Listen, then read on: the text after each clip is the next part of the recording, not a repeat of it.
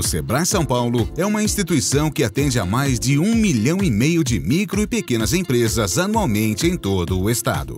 É no Sebrae que donos de pequenas lojas, restaurantes, bares, cabeleireiros, manicures, entre outras milhares de pessoas, buscam apoio e aprendizado para gerir um negócio. É aqui que eles encontram consultores experientes e capacitados para orientar e mostrar os caminhos para o sucesso. É no Sebrae que eles encontram até crédito rápido e barato para investir e ampliar seus negócios. Para ampliar o apoio, o Sebrae criou o programa Sebrae Mais Acessível. Um projeto para atender empreendedores com deficiência que precisam de auxílio e não se limitam por conta da sua condição. O projeto engloba não só atender empreendedores, mas também capacitar nossas equipes e contratar profissionais qualificados que tenham deficiência, incluindo estagiários. Esse projeto começou em 2012 e de lá para cá só cresceu o interesse do público.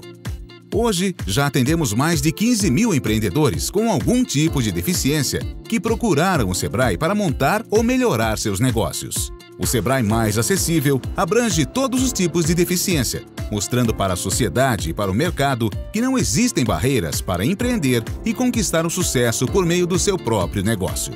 Esses empreendedores encontram cursos, oficinas, consultorias, capacitações de alta qualidade em ambientes com total acessibilidade. Em mais de 240 postos de atendimentos espalhados pelo Estado, isso ocorre também no maior evento de empreendedorismo da América Latina, a Feira do Empreendedor Sebrae São Paulo. Nos mais de 40 mil metros quadrados de atrações e oportunidades de negócios, o empreendedor com deficiência é bem recebido e tem atendimento de acordo com as suas necessidades. Porém, nada disso faria sentido sem o sucesso dos nossos clientes, como no caso de Leide Maia, da cidade de São Paulo, que participa do Espaço Mosaico, um programa que visa a inclusão de deficientes no mercado de trabalho. A gente é, teve o apoio do Sebrae em dois momentos, assim, né? Primeiro, com a formação do próprio espaço. Nós, como, como empreendedoras, precisando desse apoio do Sebrae em relação à questão é, de assuntos relacionados à, à formação da empresa. São depoimentos como esses que fazem o trabalho do Sebrae São Paulo valer a pena.